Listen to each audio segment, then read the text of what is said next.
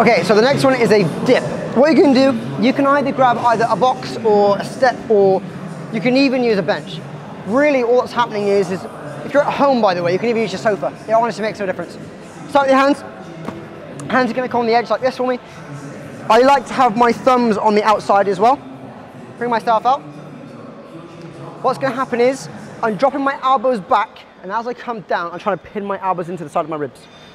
Essentially, it's just tricep heavy. So I come up, down, up. That's all I'm doing. One of the rules with this one is we don't want to overexpose our shoulder. We don't want to have any injuries. So this is far enough. This is too much. So I want to learn that difference. The next thing is how to make things easier or harder. So the further my feet are out, the harder it is. The closer I bring them, the easier it is. Okay? Have a go.